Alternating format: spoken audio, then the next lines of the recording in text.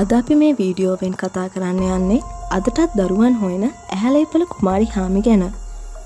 තමන්ගේ ස්වාමයා වෙනුවෙන් බෝගම්බර බැවට විරුණ වීර කාන්තාවක් තමයි ඇහැලේපල කුමාරි හාමි කියන්නේ.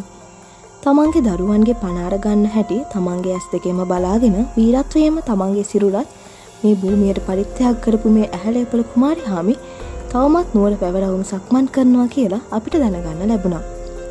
ඒවගේම වීන්ස් හෝටල ළඟ දුක්මුසු මුහුණින් බලන් ඉන්නවා කියලත් ඇවිද යනවා කියලත් දැකපු අය එක්දස් අටසී ගණන්වල ඉඳම්ම හිටිය. පැරණි තාලේ සුදු ඔසරිය ඇඳගෙන තවමත් හිස කෙලින්තියාගෙන ගර්වයෙන් ඇවිදින මේ ඇහලේපල කුමාරිහාමි ගැන ගොඩක් අයට තියෙන්නේ වයටත් වඩා ශෝකයක්. ඇහැලේපල කුමාරිහාමි ගැන මේතරතුරු අපිට දැනගන්න ලැබුණේ මුහුණු පොතින්. ඉතින් ඒ ගෞරවය මුල්කත්රුට අනිවාරයෙන්ම හිමිවිය යුතුයි. අසල්වාසී වැඩිහිටියෙක් මුහුණ දුන සත්‍ය සිදුවීමක් තමයි අපි දැන් කියන්න යන්නේ. එයාව අපි අමරදාස කියලා හඳුන්වමු. එයා මේ සිද්ධියට මුණ දුන්නේ දෙදස් දෙක වර්ෂයේ. පේරාධනී ශික්ෂණ රෝහලේ රෝහල් සේවකයකු ලෙස තමයි අමරදාස සේවය කළේ. රාත්‍රී වැඩමුරයෙන් පස්සේ එයාගේ සුසුකි වර්ගේ මෝට සයිකලෙන් ඔහුගේ නිවස බලා යද්දී මහනුවර පේරාදනය අලුත් මාර්ගයේ ඔහු නගරයට ළඟා වෙලා තිබුණා. ඒ වෙනකොට වෙලාව රාත්‍රයේ කොළහයි තිහයි. ඔහු බෝගම්බට පිට්ටනයක් බන්ධනාගාරයත් අතර තියෙන පාරි තමයි ඒ වෙද්දි හිටියේ. මාර්ගයේ පැත්තකින් උඩට පන්නයට සැලසුණු වැදගත් පෙනු මැති කුල ස්ත්‍රියක් කොන්්ඩේ කඩාදාලා විකෘති ස්වරූපයෙන් ගමන් කරනවා අමරදාස් දැක්කා. එයාසලට ලංකරපු අමරදාස සයිකලේ නැවැත්තුවා. මේ මහරැයි කොහෙද යන්නේ පාර වැරදුනාද අමරදාස ඇහුවා. නෑ මට මගේ ළමයි හොයලා දෙන්න කියලා තර්ජනාත්මකව ඒ ගැහැනු කෙනා ඔහුට බැනවැදුනා. ඊටත් පස්සේ ඇය ඉක්මනින් එතනින් දුවල ගිහිම් මාර්ගයේ අතුරු දහන් වුණා. පසුව එතන බියට පත්ත කලන්දෙදාපු අමරදාසෝ පහුවනිදා වන්දනාකරුවෙකුට හමු වෙලා තිබුණා.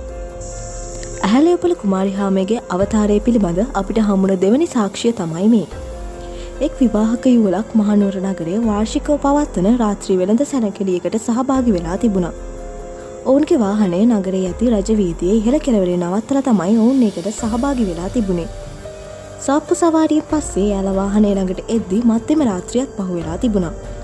ඒ එද්දිත් කොන්ඩ අවුල් කරගත්ත වගේම ඔසඩියක් ඇඳ සිටි කාන්තාවක් කාඩේ බොනට් එකේ වාඩි වෙලා අඩමින් ඉඳර තියෙනවා.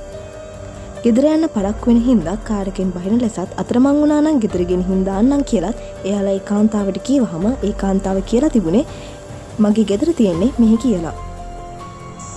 ඒ වගේම අර තියෙන අපේ වලව්ව මගේ ළමයි හොයල දෙන්න කියලත් එයා ඒ කට්ටියකින් ඉල්ලලා තිබුණා.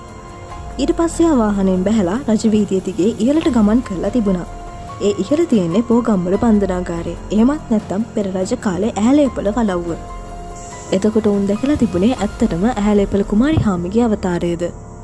දැනට මාර්තු සහ අප්‍රේල් මාසවල අමාවක දිනවලදී ඇහැලේපල කුමාරි හාමිගේ අවතාරය මහනුවර නගරේ පුරා සැරිසන්නවා කියලත් ඇයිගෙන් කිසිවෙකුට කඩදරයක් නෑ කියලත් ජනප්‍රවාදවල පවතිනවා. මහනුවර මහා කේදවාචකේ එහෙමත් නැත්තම් ඇහැලේපල පරපුර අම් අමුවේ ඝාතනය කිරීම කියලත් මේ මහා අපරාධය හඳුන්වන්න පුළුවන්. කමපිපාසිත රජ ඉදිරියේ පරතිවුතා ධර්මය රකිමින් වීර කාන්තාවක් විදිහට ජීවිතය පූජා කරපු ඇහැලේපල කුමාරිහාමිගේ අවතාරය තාම සැරිසරනවා කියන්න හරි සාක්ෂියක් නොමැති වුණත් ඇත්ත නැත්ත අපි නොදන්නවා වන තාමත් දරුවන් සොයමින් ඇවිදින්නේ ඇත්තටම ඇය නම් බෞද්ධ ධර්මයට අනුව ඇයගේ ආත්මයට ශාන්තියක් ලැබිලා හොඳ ආත්මයකට යන්න හැකිවේවයි කියලා අපි ප්‍රාර්ථනා කරනවා. ඒවගේ මේ තොරතුරු ලබාගත්ත මුල්කත්රුට මේ ගෞඩවේ අනිවාරයෙන් හිමිවිය යුතුයි කියලා අපි නැවත වතාවක් මතක් කරනවා. මේ වීඩියෝ ගැන ඔයාගේ අදහසත් කමෙන්ට් කරන්න. වීඩියෝ හොඳයි නම් තවත් මේ වගේ වීඩියෝ බලන්න අපි වලයි කලා සබස්ක්‍රයිබ් කරන්න. ඒළඟ තියෙන බෙල්ලයිකන්නේ කලික් කරන්නත් අමතක් කරන්න එපා.